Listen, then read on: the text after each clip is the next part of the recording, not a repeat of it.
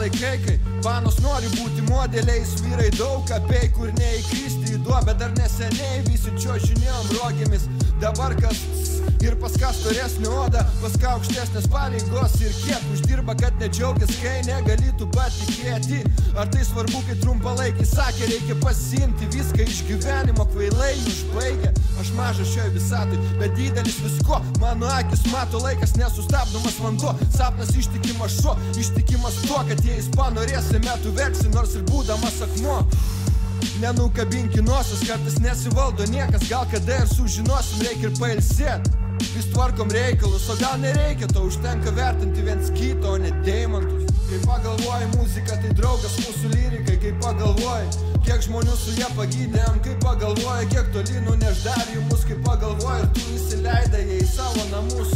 Kai pagalvoji muzika, tai draugas mūsų lyrikai, kai pagalvoji, kiek žmonių su jie pagydėm, kai pagalvoji, kiek toli nuneš dar jų mus, kai pagalvoji, ir tu įsileidai jie į savo namus.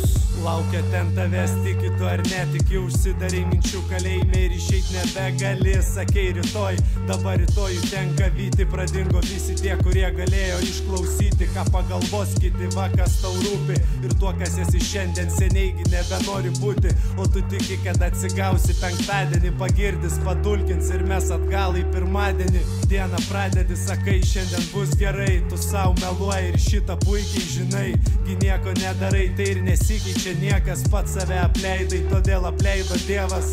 O vat sugrįžk atgal į pačią pradžią, kai nebijojai būti savim ir pasakyti ačiū. Visą vakarą įpešęs vienu taku, gerėtis gamta ir pasišildyti prie laužų. O kas dabar? Dabar reikia rinkti laikus, pozuot prabango ir nustatyti rimtus veidus, lipt karjeros laiptais ir vaidinti sėkmingai. Iš paskutinių darai tą balio ar pačiam nejuokinga. Čia tau žmogelį niekas nepavydė, tik tai mama nuliūsta, kai žuvų kapot išlydi, tavo sielai davė skrydį, tu kojelėm šliauži, pabučiuoji pūstas lūpas ir savęs nebegriauži.